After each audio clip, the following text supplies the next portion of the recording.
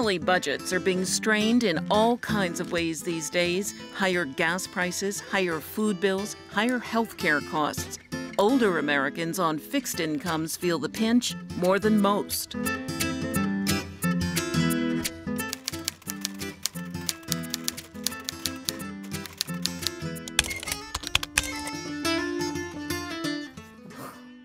The golden years are certainly not shaping up the way 66 year old Priscilla Greer of suburban Maryland had expected. All I say, old age is full of surprises.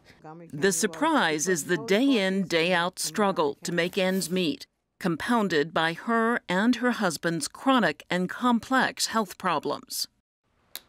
Priscilla has been treated for cancer and is diabetic. Her husband, Marvin, hospitalized when we met, is diabetic, has early Alzheimer's, gastrointestinal problems, and several strokes have left him with limited mobility. Both have Medicare and supplemental insurance to help with medical expenses. To begin with, the money that we're spending for the insurance, $631 a month. That is ridiculous. American Express. That's a heart attack. But those hmm. premiums they pay for their supplemental coverage are only the half of it. Copays and cost sharing bring their monthly health bills to over $1,100. Add to that all the other stuff of daily life. We live on American Express. Unfortunately, I try not to, I try not to, but usually a lot of times I have to use the American Express for gasoline and groceries and prescriptions. And there is also now a MasterCard. It is, says Priscilla, the first time she has accumulated credit card debt. The Greers are, by the government standards, middle income, but it doesn't feel like a middle class life. Priscilla volunteers at a food bank so she can bring home some free groceries. Friends occasionally give her small sums of money. She consolidates errands to conserve gasoline. Yeah, well, it, it, it gets you. It gets to you. What are the worst moments? When it's time to pay the bills, that's hard. You take and pay the ones that are most urgent, that you know that they will cut you off if you don't. Priscilla wonders whether she and her husband could have made different financial decisions in earlier years so they had more of a cushion now. But given the Greers' modest incomes, it's unlikely they could have saved enough to get them through the unexpected costs of old age.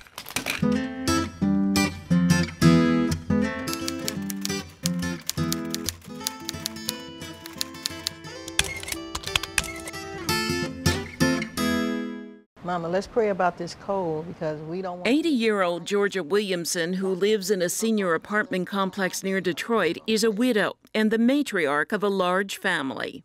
You can handle that. Her daughter, Rita Williams, is a near constant presence and fierce advocate when it comes to managing her mother's scant finances. She usually has maybe, at the end of the month, maybe $100, $150 left. I try to establish a relationship with all her doctors, not just say, well, I'm just going to pay you a little bit and not worry about it because I never know which doctor she's going to need in the future. Georgia has a couple of thousand in savings in addition to her monthly income, so this is a precarious hold on solvency. Monthly rent is just under half her income. The next biggest chunk is health care.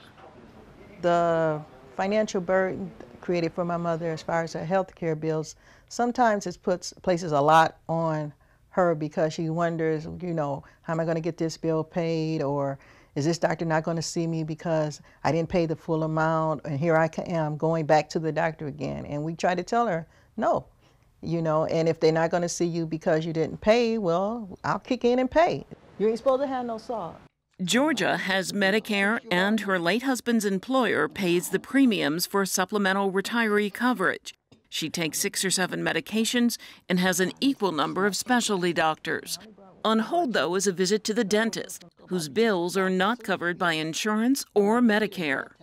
One of the upcoming expenses is dental, trying to get dentures made because that's a big out-of-pocket cost as opposed to getting your real teeth fixed and things like that. So that's something we have to work with the dentist and find one that's willing to work with us as far as making monthly payments until the bill is paid. New dentures would probably wipe out that small end of month surplus, which is only possible as it is because of the day to day support Georgia gets from her family. I don't think my mother would be able to meet her expenses probably and probably not even live here because she would need somebody else to probably help her with her meals, somebody to do all the shopping for her, the washing, things like that. So she would really have to truly downsize from where she has already downsized. How you doing today? Rita Williams worries about the time when her mother's needs may become greater and more complex and whether the safety net the family surrounds her with can be maintained.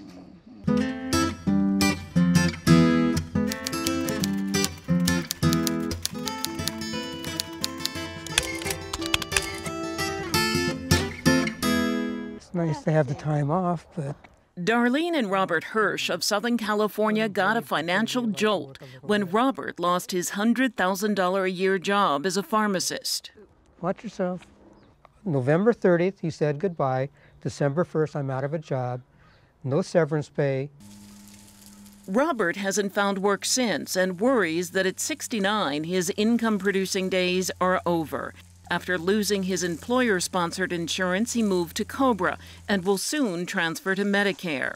He has severe allergies. Darlene, a retired manicurist, has more serious issues, including chronic fatigue, and a few years ago she had a benign brain tumor removed.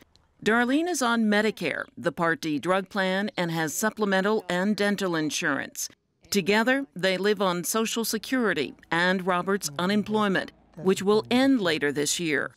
Once it does, more money will be going out than coming in. Right now on expenses, we're trying to hold our own. Trying to, we're bailing out and keeping the water at an even level. The Hirsches are not drowning because they're dipping into savings. Soon they will probably begin raiding their $40,000 retirement fund. And they're not even spending what they should on medical care.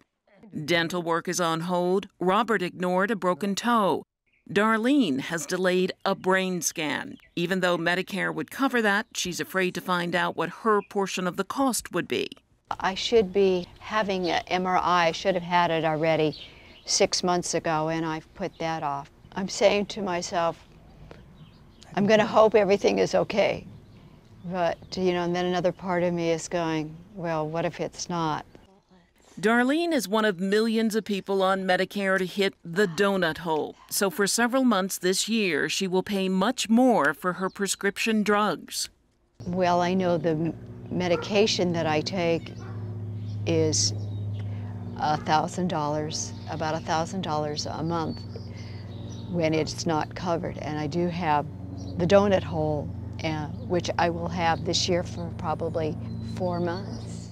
The economics of life after 65 are daunting. To manage, the Hirsches have cut back, canceling trips to visit their children and social outings with friends. I'm trying to find some kind of uh, place where I can feel uh, good and, you know, try to keep that fear of uh, not having money and not being able to take care of ourselves. I'm trying to push that away. Okay. Take your time. There is nothing unusual about any of these stories. These beneficiaries are neither poor enough to qualify for Medicaid or other programs that help low income people, nor well off enough to escape financial worries. They're the people in the middle. They do benefit from the valuable financial protection Medicare offers. But between premiums, co-pays, coverage gaps, other living expenses, limited savings, and a congressional debate about Medicare that may lead to higher out of pocket costs, that protection seems more fragile than ever.